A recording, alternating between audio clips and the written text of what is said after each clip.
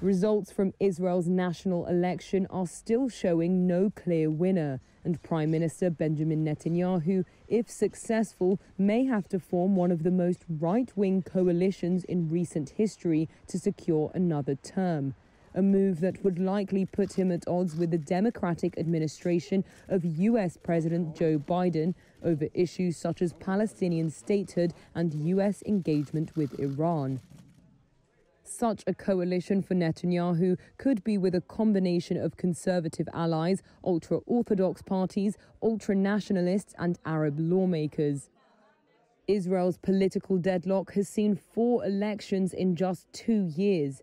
Yohanan Plesner from the Israel Democracy Institute says this may not be the last. If the final outcome will still indicate that we are within a deadlock situation, a fifth round of election is for sure an option but it's not necessarily the only outcome of the election. Uh, are still a few other scenarios of minority government, either a minority government led by Netanyahu, a minority government le- led by a change coalition, uh, or a government that will defend on, uh, uh depend on some kind of a combination of defectors. Netanyahu's campaign for this election focused on Israel's leading COVID 19 vaccination rollout, which is among the fastest in the world.